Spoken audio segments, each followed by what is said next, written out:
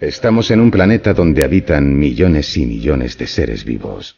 Un planeta donde se supone y da por hecho que el dueño y señor es el hombre. El resto de especies son meros súbditos. Los pájaros no opinan o pueden hacerlo respecto en dónde hacer sus nidos.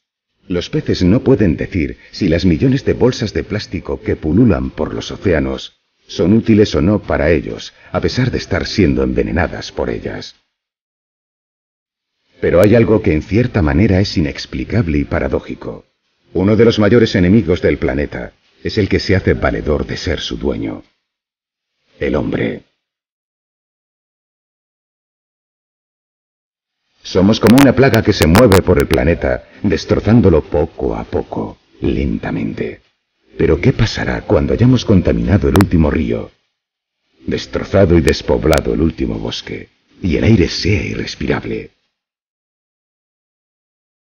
Solo viendo, escuchando y sintiendo la sagrada naturaleza, hallará el explorador su anhelado destino. Como decía el magnífico poeta chileno Pablo Neruda y Premio Nobel de Literatura, podrás cortar todas las flores, pero no podrás detener la primavera.